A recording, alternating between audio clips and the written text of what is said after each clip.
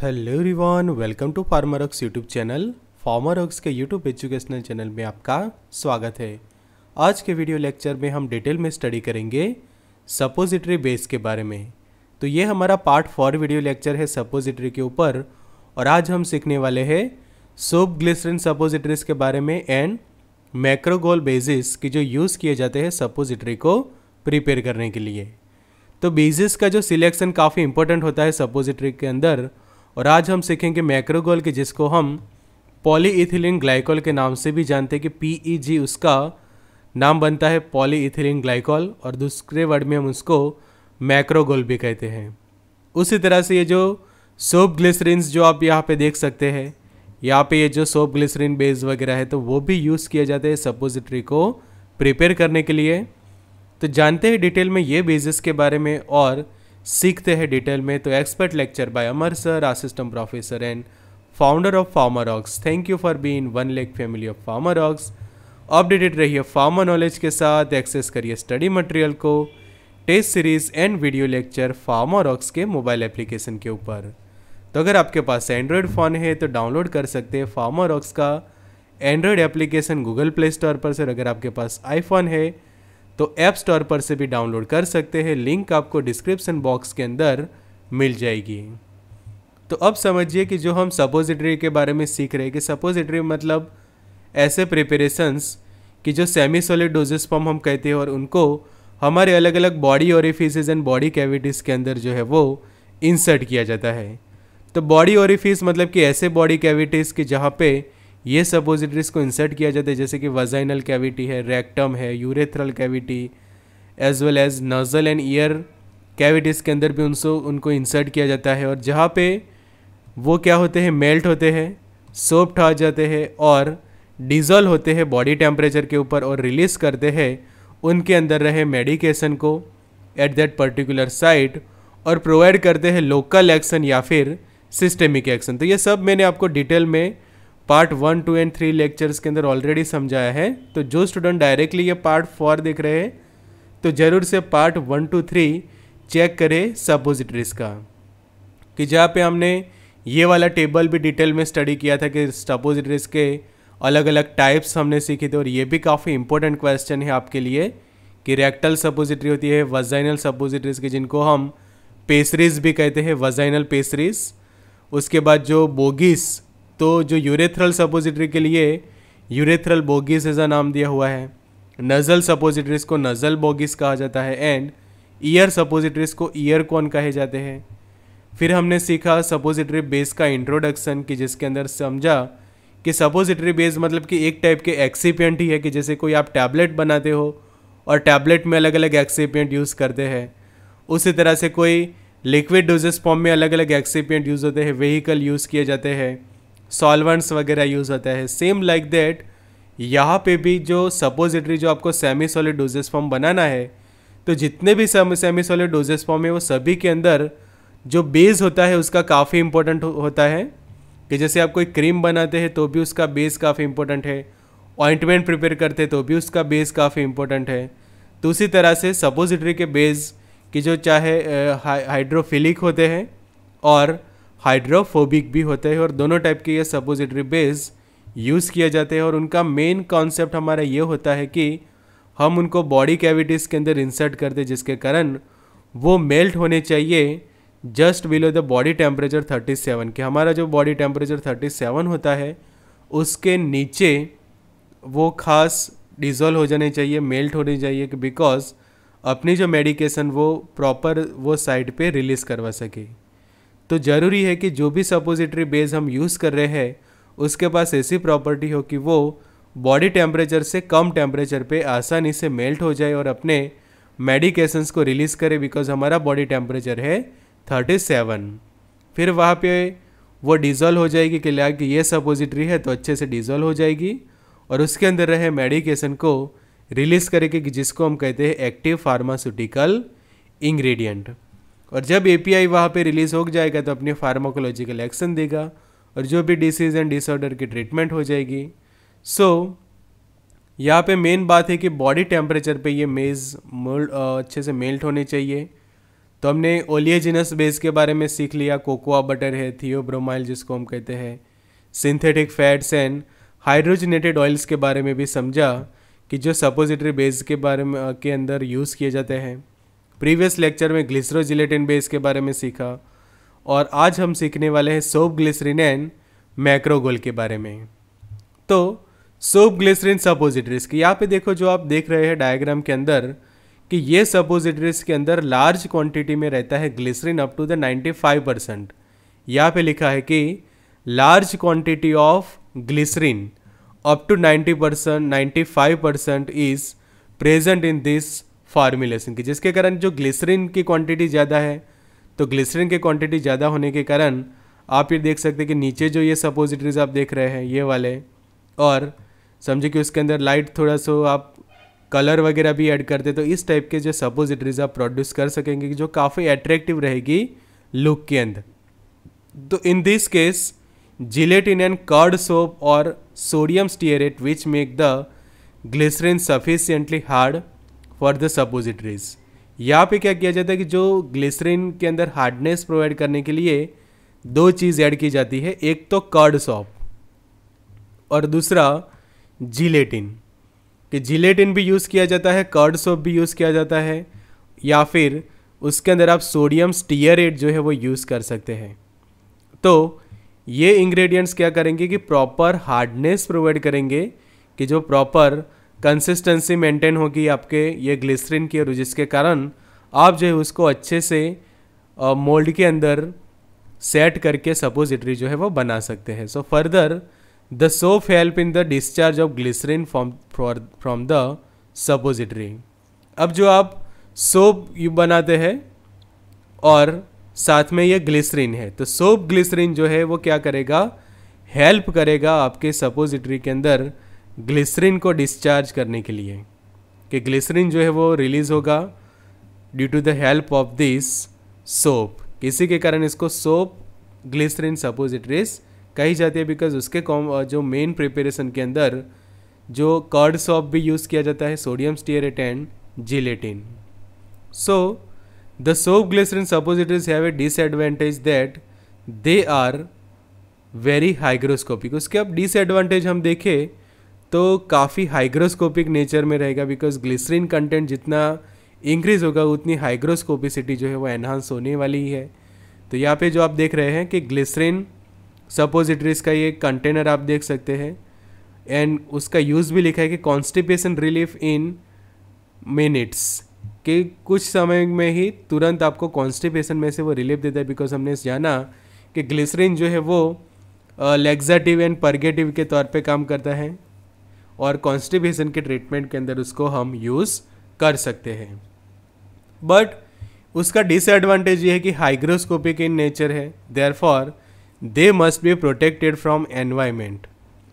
और एटमॉस्फियर और जिसके कारण उनको प्रॉपर रैप किया जाता है पेपर के अंदर एंड टीन फॉइल के अंदर या फिर प्रॉपर पैक कर सकते हैं उसको एयर टाइट कंटेनर्स के अंदर। कि आप बाजू के डायग्राम में जो देख रहे हैं कि प्रॉपर एयर टाइट कंटेनर जो है वो आप ये देख सकते हैं कि जिसके अंदर ये सपोजिटरीज को अच्छे से जो है वो क्या किया हुआ है? पैक किया हुआ है। तो पैकिंग यहाँ पे खास इंपॉर्टेंट है कि जब आप सोप ग्लिसरिन सपोजिटरीज बना रहे तो ऐसे सपोजिटरीज होती है हाइग्रोस्कोपिक इन नेचर क्योंकि वह एटमोसफियर में से जो मॉइस्चर है,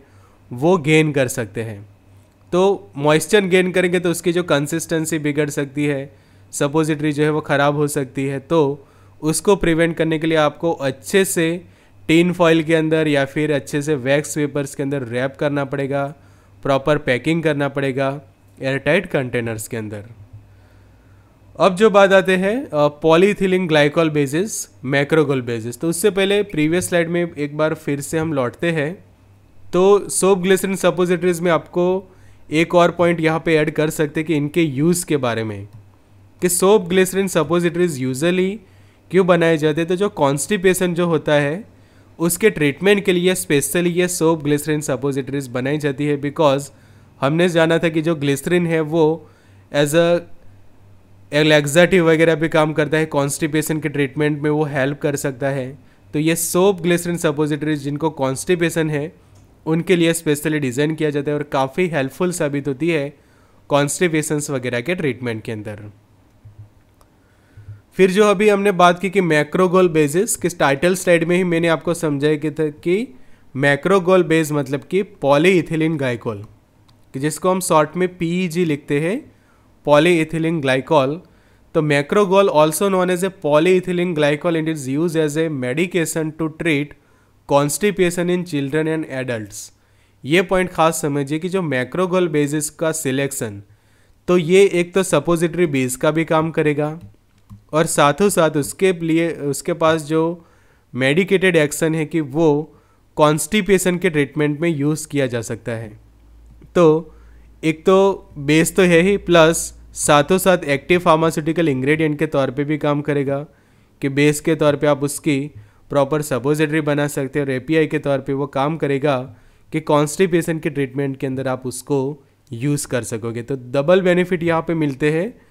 पॉलीथिलिन ग्लाइकॉल बेस यूज़ करने से। तो जब आपको टारगेट ये होता है कि आपको ऐसे सपोजिटरीज बनानी है कि जो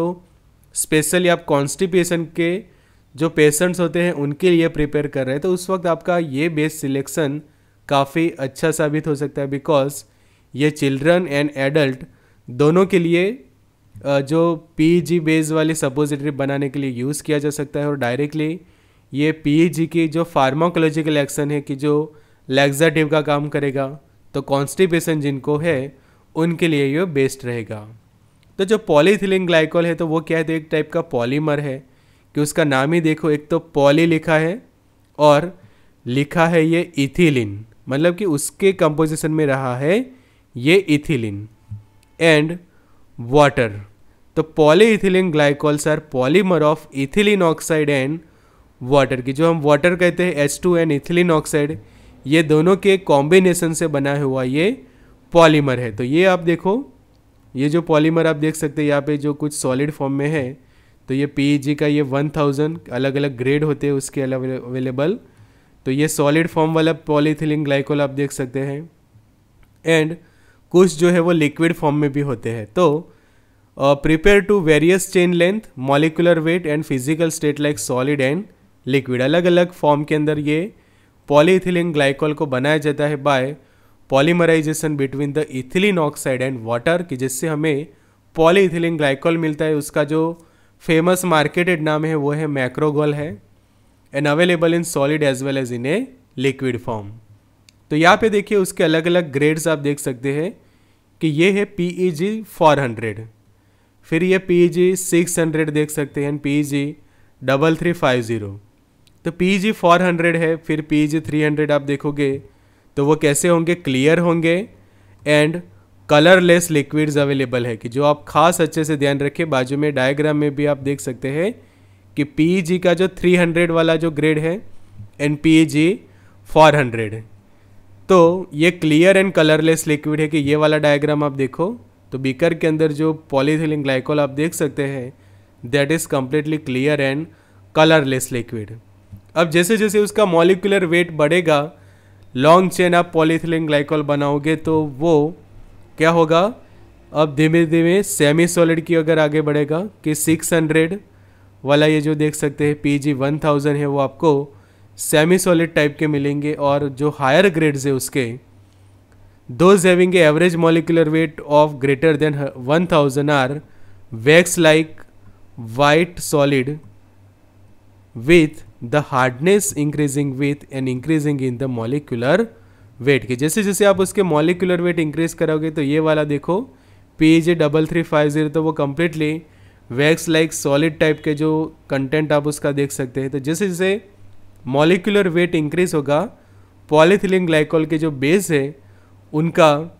जो ट्रांसफॉर्मेशन हो सकता है सॉलिड से सेमी सॉलिड और फिर वहाँ से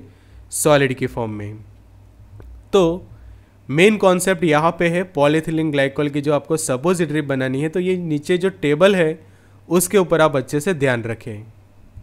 तो प्रीवियस साइड स्लाइड के अंदर आपने समझा कि जो पीईजी e है वो मॉलिकुलर वेट के बेसिस के ऊपर आपको अलग अलग फॉर्म में मिलता है। कि एक उसका फॉर्म आपने देखा सॉलिड फॉर्म देखा लिक्विड फॉर्म भी देखा और सेमी सॉलिड भी आपने देखा उसके अलग अलग डोजेस फॉर्म तो पीईजी जो है वो तीन अलग अलग फॉर्म में आपको मिलता है solid liquid as well as semi solid तो जब आपको उसकी सपोजिटरी बनानी है तो प्रॉपर कॉम्बिनेशन यूज़ किया जाता है एक से ज़्यादा अलग अलग बेसिस का। कि यहाँ पे आप देखो नीचे जो टेबल है, वो मैं आपको समझाता हूँ अच्छे से कि by you choosing a suitable combination a suppository base with the desire characteristics can be prepare कि प्रॉपर जो आपको कैरेक्टरिस्टिक्स चाहिए, उसके अकॉर्डिंग टू आप सपोजिटरी बना सकते हैं। तो यहाँ पे देखो, चार अलग अलग फार्मूला है। ये जो फ़र्स्ट है, उसको समझो कि आप वन एफ़ वन लिखते हैं तो वो आपकी फार्मूला वन है। तो फ़र्स्ट फार्मूला में आप क्या करते हैं? मैक्रोगोल फोर थाउज़ेंड जो है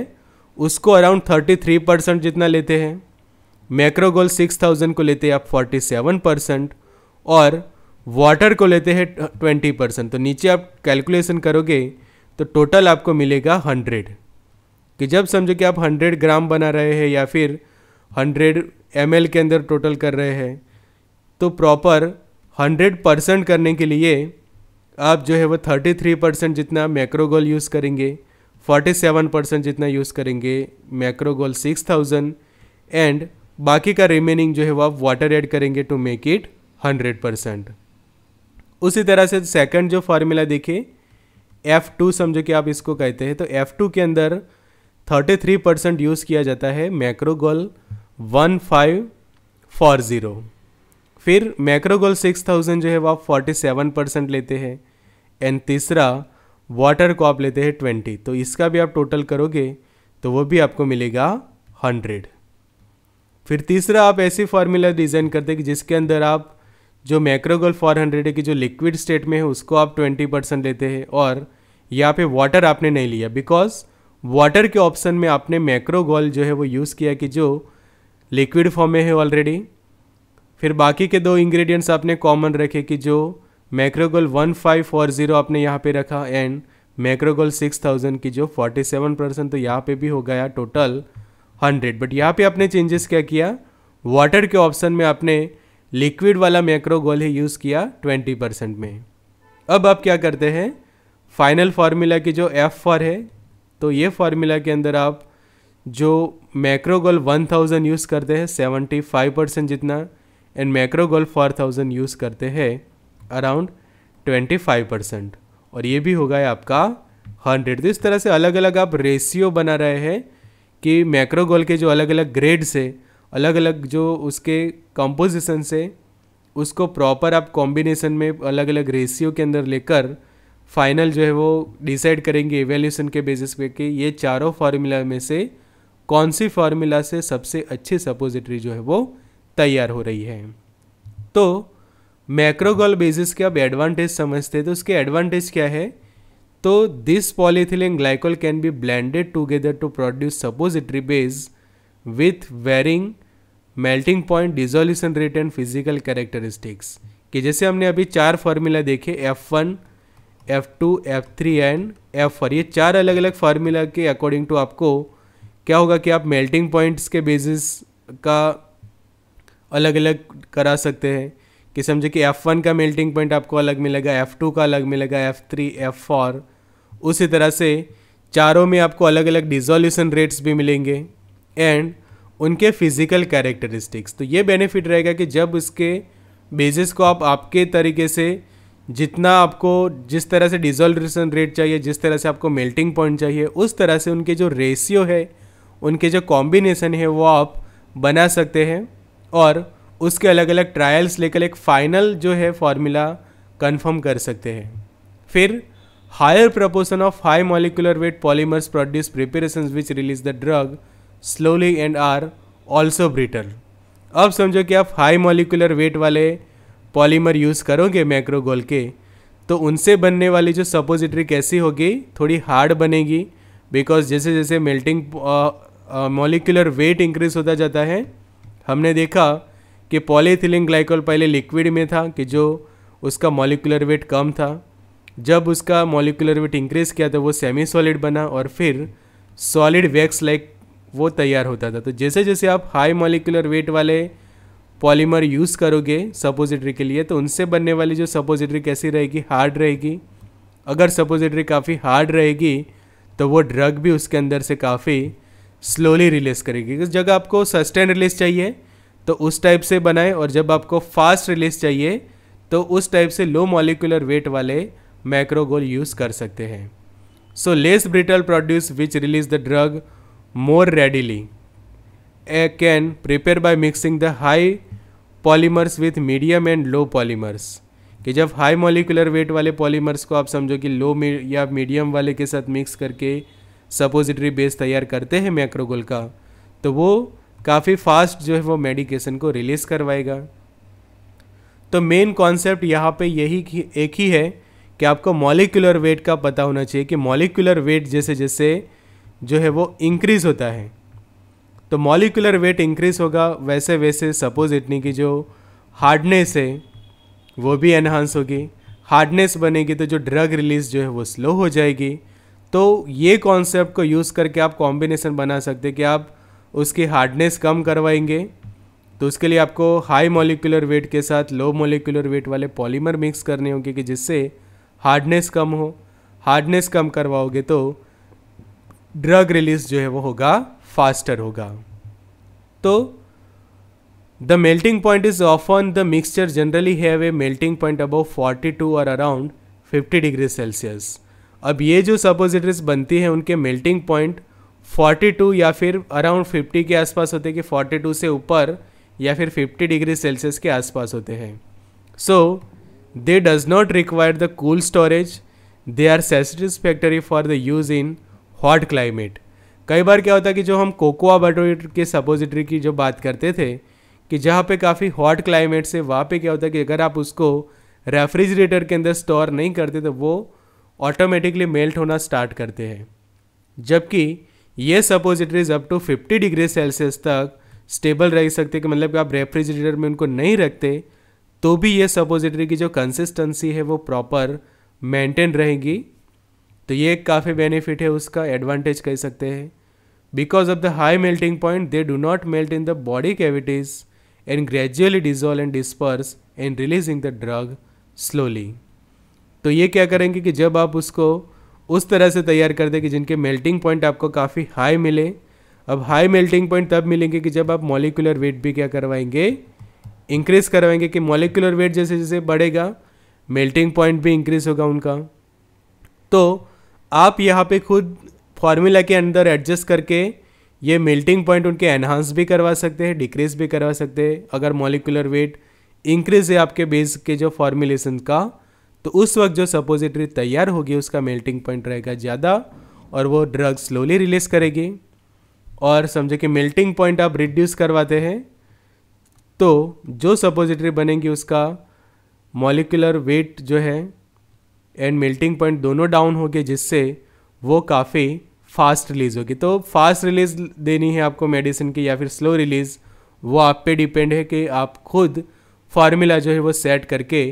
प्रॉपर ये सपोजिटरी डिज़ाइन कर सकते हैं based on your own suitability कि आपको फास्ट रिलीज़ चाहिए तो फास्ट रिलीज़ वाली बना सकते हैं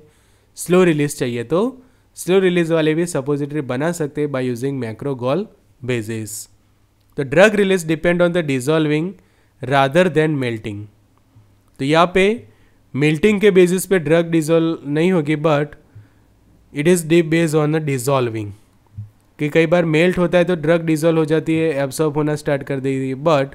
यहाँ पे मेन डिजोल्यूशन खास इंपॉर्टेंट रहेगा and they do not stick to the wall of the mould since they contract significantly on cooling तो ये जो है वो मोल्ड के साथ स्टिक नहीं होते तो एक बेनिफिट ये रहा कि आपको लुब्रिकेशंस वगैरह करने की ज़रूरत नहीं है मोल्ड के अंदर। तो ये था हमारा lecture about macrogol and P G bases basis next जो है मोस्ट आई एम पे बेस की जो है सिंथेटिक फैट्स बहुत बार एग्ज़ाम्स के अंदर ये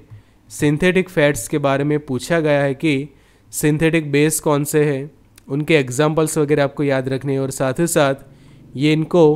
इमल्सिफाइंग बेसिस भी कहा जाता है। तो दोनों टाइप से क्वेश्चन पूछा जाता है कि इमल्सिफाइंग बेसिस तो उसके भी यही एग्ज़ाम्पल है कि विटॉपसोल जो आप यहाँ पे देख सकते हैं तो वो भी एक सिंथेटिक बेस ही है। उसके अलावा भी और दो सिंथेटिक बेस है कि जो हम डिटेल में सीखेंगे लेक्चर के अंदर की जो रहेगा part five on a suppository तो एक्सेस करिए स्टडी मटेरियल को test series video lecture FarmRox के ऐप ऊपर ज्वाइन कर सकते हैं व्हाट्सएप ग्रुप एक्सेस करिए study material test series and video lecture FarmRox के ऐप ऊपर. So good luck and all the best